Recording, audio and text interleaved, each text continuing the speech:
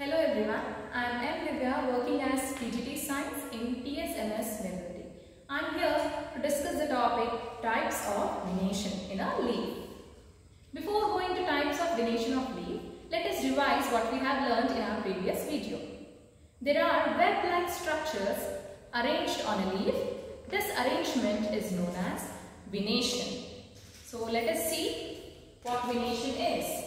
Venation, arrangement of veins on a leaf is known as venation. These thin tube-like structures are arranged in different manner for different leaves.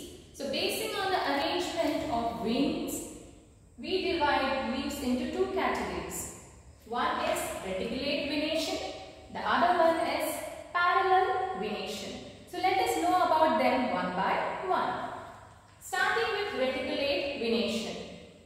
When the leaf have veins in a web manner or branched out manner all over the leaf lamina, it is known as reticulate venation.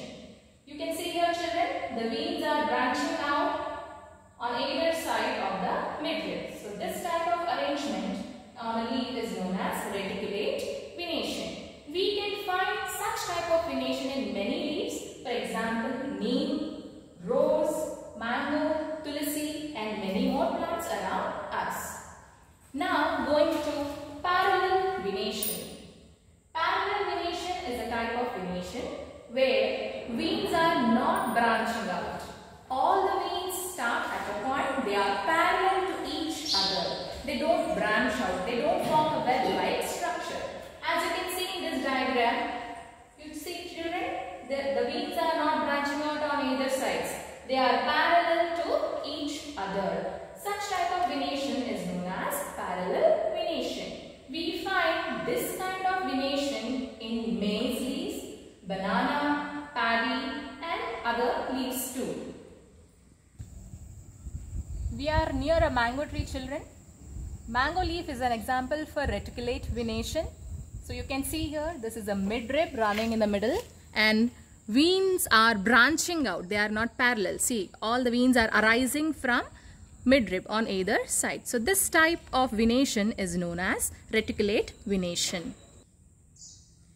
Children we are near a banana plant.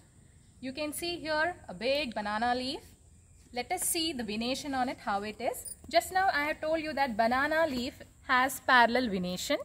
You can see you have veins parallel, going parallel.